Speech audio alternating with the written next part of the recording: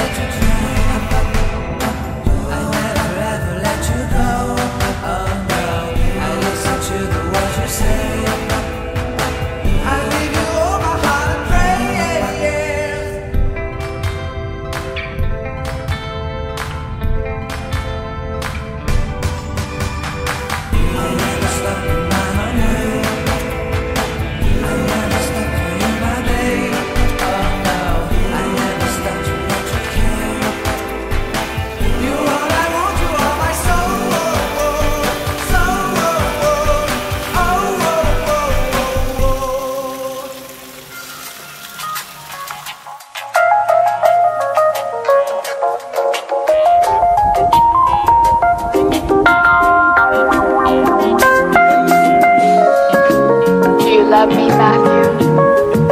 I do. Honestly? Yes. Secretly, but honestly. No more secrets.